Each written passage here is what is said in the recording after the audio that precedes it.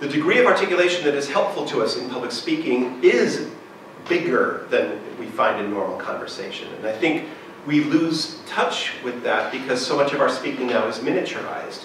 We talk into telephones. We tend not to think in terms of the magnified presence required for addressing an audience. Now, um, let's look at a word like picked. Say picked. Picked. Okay, it's a short word. It's a simple word, right? One syllable. But three distinct consonant sounds, right? The P, the CK, and the D. Although the D really, honestly, is said more like a T. Picked. We have to be careful with these final consonant sounds. This is something I notice again and again, and I notice it as much in native speakers of English as non-native speakers of English. Everybody is forgetting the final consonant sounds in words. We need to complete words.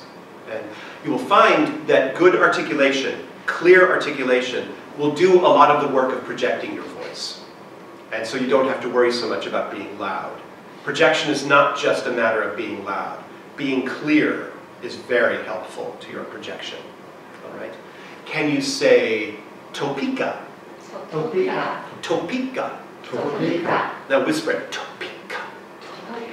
So can you feel that's middle, front, back? Topeka.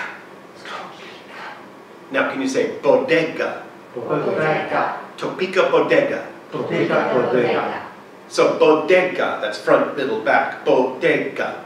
Bodega. And you notice Topeka, those are all unvoiced consonants.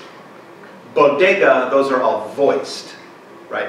So when you say a B or a D or a hard G, a G, you have to prepare the sound for an instant. You have to gather the vibration and then you pop it out there.